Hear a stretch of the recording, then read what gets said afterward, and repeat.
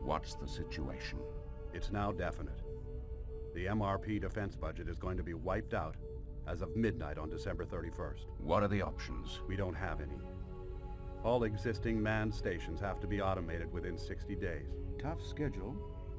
Who's handling it? Commander Shelford Pitts, Grade 6 Cyberneer from our Cybernetics Division. Don't know him. Think he can do the job? He's the best we've got. He keeps himself to himself. Under the circumstances, I think he'll be ideal. Good. Are we still proceeding as planned for MRP 6F? Yes.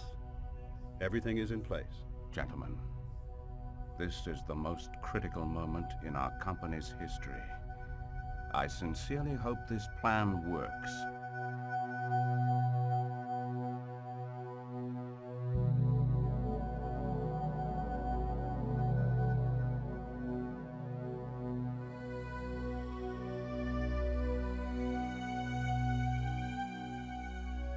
Incoming priority message.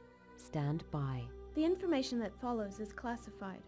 I'm sorry to report that your senior officer, Cyberneer Commander Shelford Pitts, has unfortunately been killed while departing MRP-6E.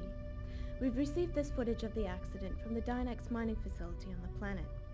I've therefore been authorized under Tyrant Security Protocol to brief you as next in command for completion of defense station automation. We are due for an orbital pass of MRP-6F in 16 hours. Report to Shuttle Bay 15 one hour before departure. You will be issued with an appropriate security pass for the station's VOS. I suggest you get some sleep, officer. You have a very busy day tomorrow. Transmission terminated at source.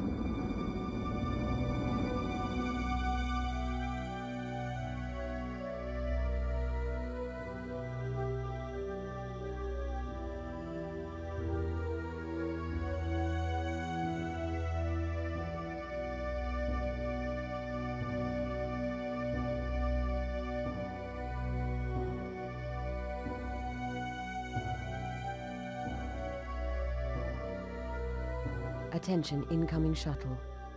You have passed the outer marker.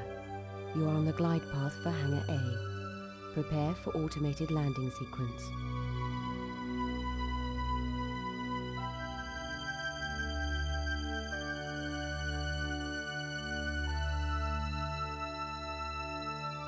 Please wait for clearance. Clearance confirmed. External pressurization complete. Please stand by.